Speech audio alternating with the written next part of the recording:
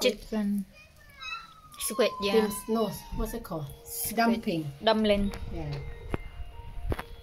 this is the Thai food nha